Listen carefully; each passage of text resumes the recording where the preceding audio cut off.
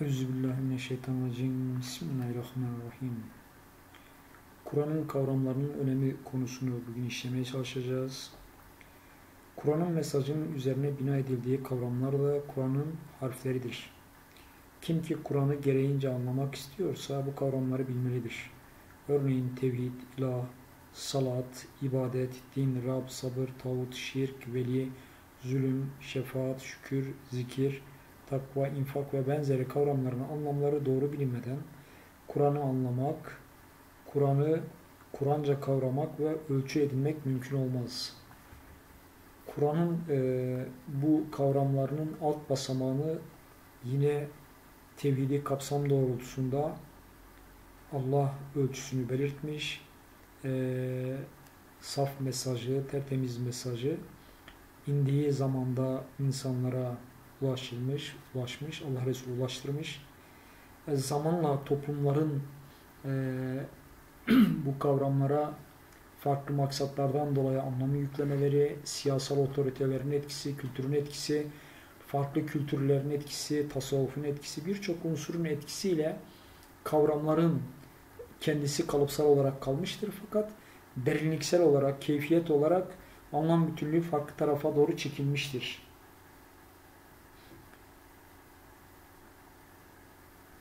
Bugünkü konumuzda bu kavramları tedrici olarak işlemeye çalışacağız inşallah. Kur'an'la ilgili muhatap olan toplumun kavramların anlamını bilme, e, bilme gibi bir sorunları yoktu. Zira Kur'an onların anlamlarını bildikleri kavramlarla vahyedilmişti. Onlar kendilerine söylenen şeyin anlamını biliyor ve Kur'an'ın kendilerinden ne istediğini anlıyorlardı. Ne var ki Kur'an'ın kavramları daha ilk dönemden itibaren anlam değişikliğine uğradı. Böylece Kur'an'ın kavramlara yüklediği anlamlar değiştirildiği için literal olarak aynı fakat anlam olarak farklı bir Kur'an ortaya çıktı. Kalıp olarak e, sabır, tevhid, şükür, şirk gibi unsurlar e, kalıpsal yapısı direkt olarak var olduğu literal özelliği e, aynı şekilde devam ederken e, keyfiyet boyutu, derinliğindeki mesajı çok farklı alanlara doğru kanalize edilmiştir. Kur'an'ın kavramlara yüklediği anlamlar değiştirildiği için literal olarak aynı fakat anlam olarak farklı bir Kur'an ortaya çıktı. Bunun neticesinde Kur'an'ın muhatabında istenilen inanç ve anlayışı gerçekleştirememektedir. Deyim yerinde ise Kur'an bu şekilde susturularak anlamsız hale getirildi. Yani Kur'an'ın gerçek mesajı, derinliği farklı tarafa kanalize edildiği için o kavramlar üzerinden zihinlerin, gönüllerin inşa edilmesi, etki boyutu e, etkisizleştirilmiştir. Kasıtlı olarak farklı tarafa çekilmiştir. Tevhidin yapısına e, şirkin küçük bir unsuru dahi katılırsa o tevhidin özelliği bozulur. Bala az oranda e, sirke katılırsa balı bozduğu gibi tevhidin yapısına tevhidi özelliği bir post olarak üzerine alanı kurdun koyun ya da koç olmadığı gibi şirkin bir unsurunun tevhidin içerisinde ya da tevhidin bir unsurunu alıp da e, şirkin üzerine örtmekle o şirk tevhid kapsamında olmaz. Kur'an literal olarak, metin olarak hiçbir değişikliğe uğramadığı halde anlamında anlaşılmasında önemli değişikliğe uğrayarak uydurulan dinleri onaylayan bir metne dönüştürüldü. Yeryüzündeki baskı ve zulmü yok, et, yok etmek, adaleti, kar, kardeşliği, barışı, güveni ve özgürlüğü gerçekleştirmeyi varlık nedeni sayan Kur'an, bu doğrultuda insanların anlam dünyasına dokunurken, insanları insan yaparken, insani özelliklerin ve melekelerin korunması, e, Kur'an'ın asıl e, insana ulaştırmak istediği ölçü, kişilerin insani özelliklerinin korunması, insanların insani özelliklerini kaybetmeden her daim insanca kalması için Allah yol göstermekte. Bunların en iyi şekilde oluşması, e, Müslümanların ayakta kalmasının ölçüsü de e, ölçüsü de nedir? Tabii ki Allah'ın bize kullandığı kavramlarla gelen mesajıdır. O kavramların derinliğindeki mesaj farklı tarafa kanalize edilince insanların e, insanlardan istendik davranışlar oluşamamaktadır. Evet, kavramlarımızın birincisine baktığımızda sabır.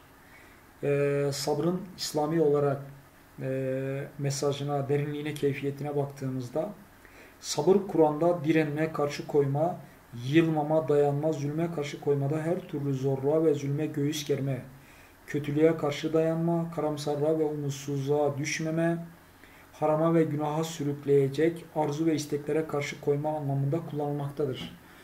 Kur'an'ın yapısında böylesi bir keyfiyet ve özellik var iken sabrın yapısı e, mutasavvıflar, tasavvufçular ya da farklı e, izimler, ekoller, cemaatler tarzı farklı yapılar bunu ne yapmışlar? Bir hırka, bir lokmaya çevirmeleri.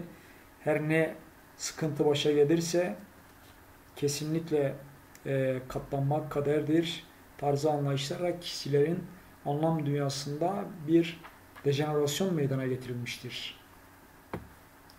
Yani Allah'ın mesajındaki sabır çok farklıyken insanların e, kendi çıkarları ve kendi bekaları, kendi kazançlarını arttırma, saltanatlarını sürdürmek için anlamların derinliklerini farklı alanlara doğru çarpıtmışlardır. Ne var ki dinden beslenen, onu kendi çıkarlarına aracı yapan iktidar sahipleri ve din adamları sınıfı bu kavramın anlamında yaptıkları değişiklikle zulme izleyici olmayı, haksızlığa rıza göstermeyi, baskılara boyun eğmeyi, her türlü kötülüğe ve fitneye karşı sessiz, ilgisiz ve duyarsız kalmayı, onurunun ayaklar altında çiğnilmesine tepki göstermemeyi, susmayı sabır yaptılar. Evet, bahsettiğimiz husus bu doğrultuda e, gerçek keyfiyeti farklıyken, verilen mesaj farklıyken insanlar, istismarcılar bu doğrultuda e, çarpıtmışlardır. Çok farklı bir anlam bütünlüğüne doğru e, olayı sürüklemişlerdir. O zaman da farklı tarafa kanalize edilen kavramlar da istenilen sonuca kişi ulaştırmaz. İstendik davranış oluşmaz. Oysa ki Müslümandan istenen sabır, baskı, zulüm ve haksızlığa karşı verdiği mücadelede adaleti yeryüzünde hakim kılmak için gerekli özveriyi göstermek, her türlü zorluğa karşı direnmek, başına gelecek her türlü belaya karşı yılmadan, usanmadan yoluna devam etmede kararlı olmak ve her türlü çileye karşı dayanmaktır. İslam'daki, İslam'ın bütünlüğündeki sabır ve sabrın e, bünyesindeki mesaj, Müslüman anlam dünyasında oluşması gereken mesaj budur. Olumsuzlukları ortadan kaldırmak, her daim iyiliğin, güzelliğin, adaletin, hakkın, hakikatin ayakta olması için güçlü olmak, e, donanımlı olmak, e, haktan yana mücadele sergilemek. Sabır, korkaklık ve ürkeklik değil, cesaret ve yiğitliktir. Sabır umutsuzluk değil, her koşulda umuttur. Kur'an'da sabır genellikle sabretmek ve dua etmek, cihad edip sabretmek, sabredip takva sahibi olmak kalıplarıyla kullanılmaktadır.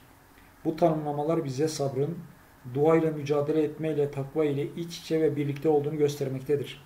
Sabrın Kur'an'daki anlamı budur. Ancak bu kavram günümüzde anlam değişikliğine uğradığından Müslümanlar sabır adına zulme rıza gösteren, kötülüğe seyirci kalan pasif, suskun ve neme lazımcı insanlar olmuşlardır. Evet, her şeye e, yapılan haksızlıklar, zulüm, adaletsizlik, emeğin sömürülmesi, insanca yaşama, insan onurunun zedelenmesine ses çıkarmayan, e, her şeyi oluruna bırakan, zalimlerin ve zorbaların e, ayakta kalması, haksızlıkların yaygınlaşması, e, hiçbirine gıkının çıkarılmaması, sessiz kalması tarzı anlayış e, bir nevi Emevi zihniyetinin zalimlikleri ve zorbalıklarını meşrulaştırmak için insanların anlam dünyalarındaki sabır ve derinliğindeki keyfiyeti çarpıtmalarıdır. Acizlik ve uyuşukluk sabır sayılmıştır ama İslam'da kesinlikle böyle bir durum yok. Zillete rıza göstermek sabır adını almıştır. Olamaz böyle bir şey. Kesinlikle istismar ve çarpıtmadır. Yoksa siz Allah içinizdeki cihat edenleri ve sabredenleri belirlemeden cennete gireceğinizi sanıyorsunuz. Yani her şeyle Allah insanı sınamaktadır. Gerçekten Allah yolunda mücadele eden, hakkı hakikati ayakta tutmaya çalışan, iyiliği ve güzeli yaygınlaştıranlar Allah'ın rızasını kazanır. Allah yolunda mücadele eden, çabalayan, canla başla çalışanlar, sıkıntılara göğüs gerenler gerçek sabredenlerdir. Sıkıntılara karşı mücadele edenlerdir.